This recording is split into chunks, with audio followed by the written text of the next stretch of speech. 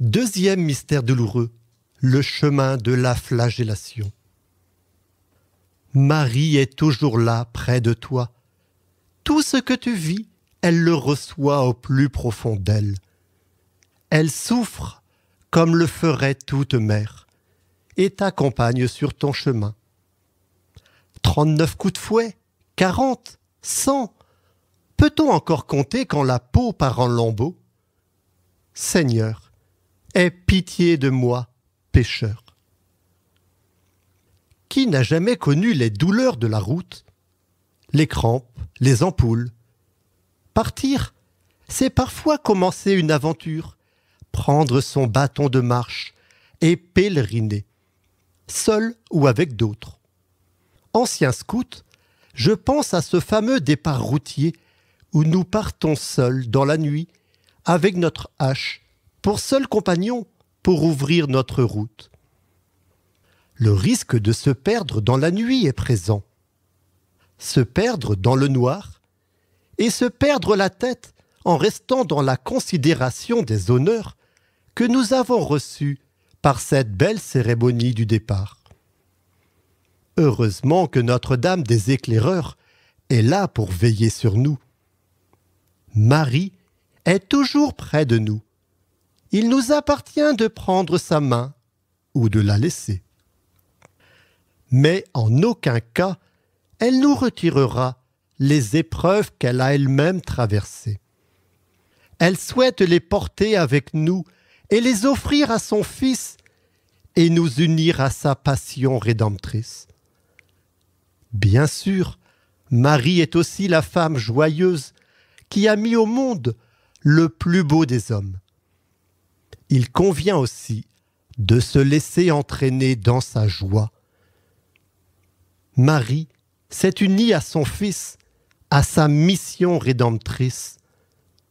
De l'Annonciation, et plus spécialement de la présentation au Temple, à la croix, nous voyons cette offrande des deux cœurs qui se fixera pour toujours par la lance sur la croix. Marie n'aura de cesse d'accompagner son Fils, de partager ses joies et ses douleurs. Elle cheminera avec les apôtres au fil de la vie publique de Jésus. Elle accompagnera Jésus sur son chemin de croix et sera là, debout, près de lui, au moment du supplice. Marie la femme présente et aimante. Marie a été confiée à Saint Jean par Jésus en croix pour qu'elle soit notre mère à tous. À la Pentecôte, Marie devient mère de l'Église, mère de tous les baptisés et des hommes de bonne volonté. Elle connaît nos joies et nos épreuves. Elle les partage et intercède sans cesse pour nous auprès de son divin Fils. N'ayons pas peur des coups. Jésus les a reçus avant nous et pour nous. Les Juifs pensaient qu'au-delà de quarante coups de fouet, on pouvait tuer la personne. Les Romains, eux, ne comptaient pas, ce qui exprime l'horreur de la flagellation. Mais ce n'est pas tant les coups de fouet qui blessèrent Jésus, mais les coups de péché des hommes. Et là, le nombre est incalculable. Du premier homme jusqu'à la fin des temps. Des coups encore plus durs qui meurtrissent son cœur, mais des coups qu'il nous a aussi entièrement pardonnés.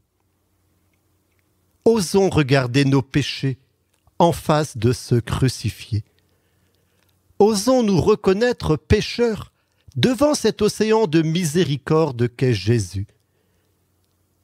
Disons-lui souvent avec confiance, Seigneur, aie pitié de moi, pécheur. Je vous salue Marie, pleine de grâce. Le Seigneur est avec vous. Vous êtes bénie entre toutes les femmes, et Jésus, le fruit de vos entrailles, est béni. Sainte Marie, Mère de Dieu, priez pour nous pauvres pécheurs, maintenant et à l'heure de notre mort. Amen.